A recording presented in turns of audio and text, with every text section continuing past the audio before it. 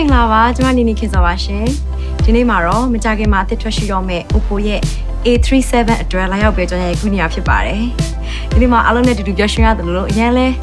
အဲနီနီ excited ဖြစ်ရတယ်ဒီနေ့မှာအားလုံးပဲစိတ်ဝင်စားနေတဲ့ Oppo ရဲ့ A37 အကြောင်းကိုနီနီချစ်တဲ့ပရိသတ်များအားလုံးကိုလည်းမျှဝေပေးချင်ပါတယ်ဒီနေ့ကတော့ Oppo A37 ပုံစံလေးကိုအရင်သဘောကျတယ်ဘာဖြစ်လို့ဆိုတော့သူကပို့ပပလေးနဲ့အရင်လဲအကျန်းခံတယ်လေ သူ့ရဲ့ပုံစံလေးကအရင်လဲ classic ဖြစ်တယ်ပြီးတော့ rose gold အရောင်လေးဆိုတော့နီနီကြိုက်ပေါ့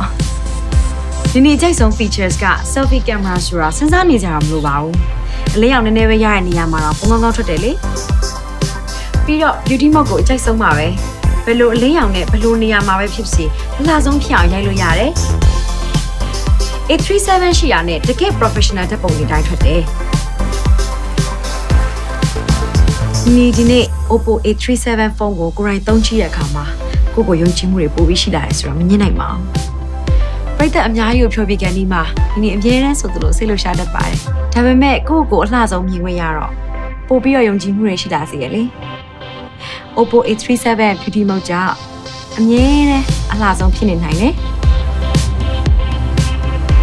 ဟုတ်ကဲ့ကျေးဇူးအများကြီးတင်ပါတယ်ရှင်။ Oppo ရဲ့အကြောင်းလေးတွေကိုလည်းဆက်လက်ပြီးတော့နောက်ဆွေးနွေးပါအောင်နော်ပရိသတ်ကြီး။ Bye bye